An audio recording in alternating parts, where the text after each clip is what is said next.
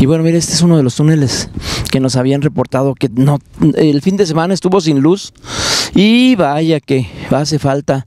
Vea nada más que luz tan lánguida, le pusieron unas lamparitas ahí donde apenas se ve, pero lo que también queremos reflejar ahorita, ver, nada más por eso estamos encendiendo la luz del auto, para que vea usted cómo está de sucio, cómo la gran cantidad de, de basura y sobre todo lo peligroso de, de, de las piedras que están cayendo, mire.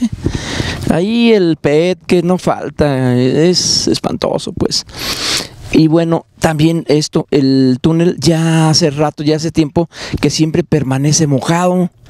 Bueno, mire, aquí esta, esta mm, eh, lámina que está impidiendo que eh, la filtración caiga directamente en los automóviles, pero vea, es un río ahorita que ha ocurrido esta temporada de lluvias está en un grado de deterioro terrible. Por aquí, pues imagínese usted venir a pie en este lugar. ¿Cuáles banquetas? Al final ya se convirtieron en ríos.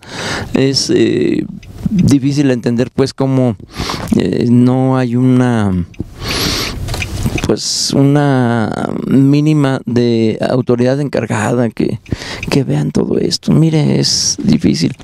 Eh, vea, estas conformaciones, cómo está haciendo ya. Inclusive, haga de cuenta que está usted dentro de una mina, mire. Esto cómo se veía en su tiempo. Son unas conformaciones este, de, de, de, de, eh, calcio, ¿no? Unas conformaciones cálcicas. Eh, las estalactitas que están viendo con el Fíjese cuánto tiene este túnel, no de tener ni 20 años, ¿no? Y, y vea cómo, cómo, pues nunca ha dejado de fluir por aquí el agua, hasta se escucha. Este es un tema, por supuesto, que debe de verse por parte de la autoridad también, checar el asunto de la limpieza, para empezar, de la iluminación luego, porque pues los túneles de Guanajuato son un emblema, también son un lugar turístico. La gente cuando viene pues se queda embelesada viendo cómo una ciudad como Guanajuato, su principal comunicación es a través de los túneles.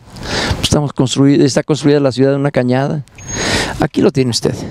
Vamos a estar pendientes pues de todo esto. Para el sistema de noticias de TV Guanajuato, Jorge Antonio Rodríguez Medrano. Imágenes Alejandro Abundes.